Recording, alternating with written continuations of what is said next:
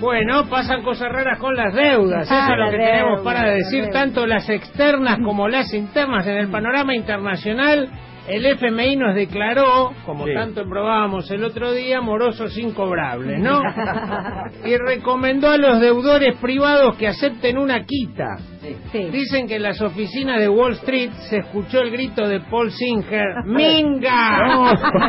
¡Minga Caballo! dijo. Ay. Para ser suaves, ¿no? Claro.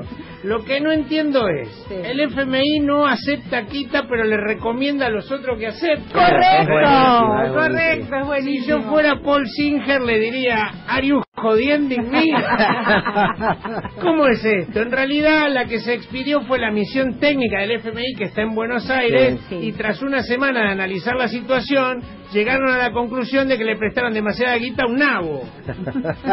Ese- pero eso no lo pueden decir de esa manera. No lo van a decir así. Pero reitero algo que dije alguna vez, A una ver. pena por Macri, porque estuvo un pelito así de fundir al FMI. Claro. Hubiera caído Claro, mucho claro. más simpático. Ahí lo bancaba. Lo bancábamos a muerte.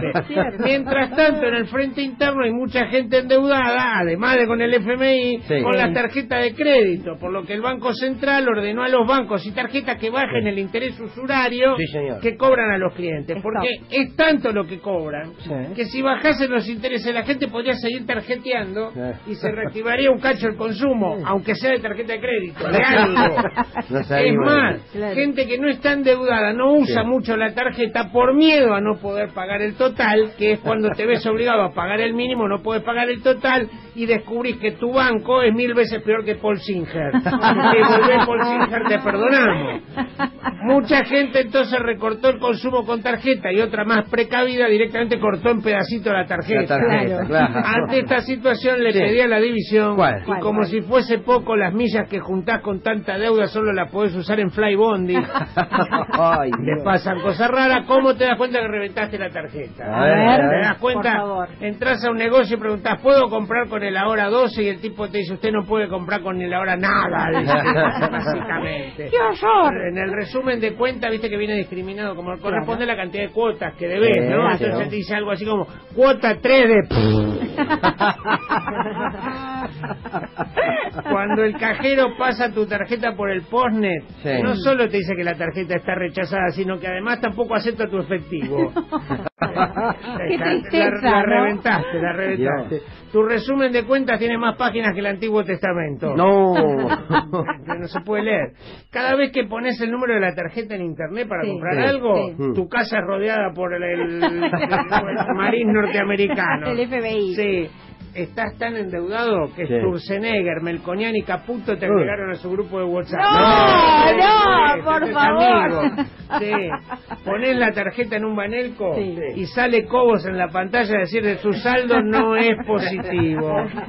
Te das cuenta que no, No, no, es- no, no- no la podés usar. La- mal, la, estás justicia mal. te emite una orden de restricción. No. No podés pasar a menos de 200 metros de un supermercado, un shopping o una computadora en la que puedas comprar cosas por internet. No figurás en el verás. Ya te, puse- te pusieron en el no verás un sope. Es más, figurás en la lista de lo más buscado por el FBI, la KGB, el Mossad y la. Reserva Federal de los Estados Unidos. Cuando entras al home banking Sí. a ver cómo están los números, Claro. descubrís que tu límite de compra, viste Sí. que dice límite de compra 200 australes. No. Es todo lo que podés gastar.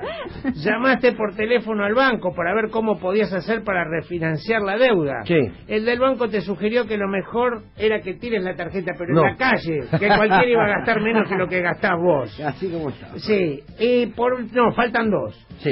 pistas de que reventaste la tarjeta. Hasta que no pagues por lo menos dos cuotas más, Sí. el microondas no calienta.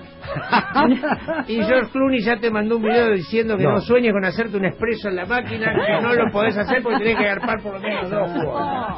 Y por último te das cuenta que estás endeudado porque todos los meses el resumen de cuenta no te lo trae el cartero. Sí. Te lo trae Cristalina Georgina No. en persona.